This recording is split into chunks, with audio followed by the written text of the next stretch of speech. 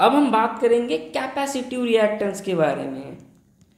Capacitive reactance के बारे में। सर, अब ये कैपेसिटिव रिएक्टेंस क्या है? इसको लेटर बच्चों में एक्स सी से दिखाऊँगा। जब भी ये वर्ड आया ना, reactance reactance is shown by letter capital X अब कैपेसिटिव रिएक्टेंस है that's why the letter small C अब कैपेसिटिव रिएक्टेंस का पिक्चर में आता है? जब भी आपके सर्किट में एक कैपेसिटर हो और उसे प्योरली एसी सप्लाई अगर आप कनेक्ट करते हो this is your AC supply और ये कैपेसिटर है सी तो यहाँ पे जो अपोजिशन ऑफर्ड करेगा ये कैपेसिटर इस एसी को, उसे कहा जाता है कैपेसिटिव रिएक्टेंस जैसे कि आपका रेजिस्टेंस करंट को अपोज करता है, उसी तरीके से बच्चों कैपेसिटर चेंज इन वोल्टेज को अपोज करता है. ठीक है? कैसे अपोज करता है?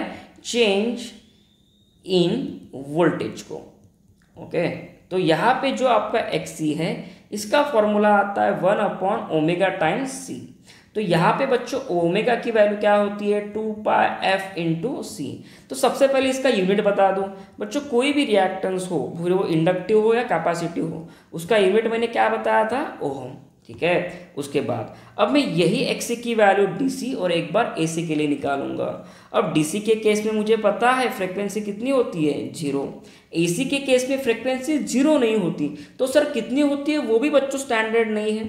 मतलब इंडिया में इसकी वैल्यू फ्रिक्वेंसी की वैल्यू पचास है। लेकिन हर जगह पचास हो, ऐसा कुछ नहीं है। ठीक है?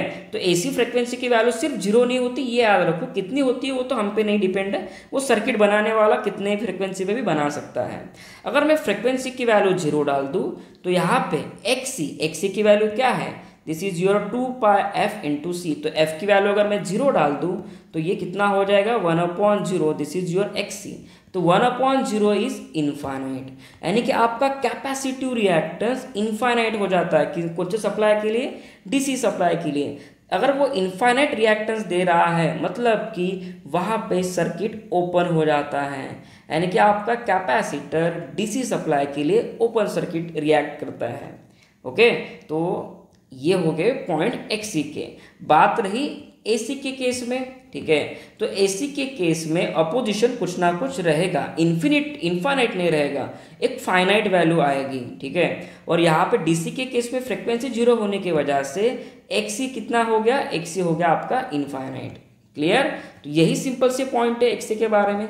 इससे ज़्यादा तो इसमें नहीं पूछेंगे. जो भी टॉपिक रहेंगे, मैं आगे की लेक्चर्स में कवर करवा के दे दूँगा.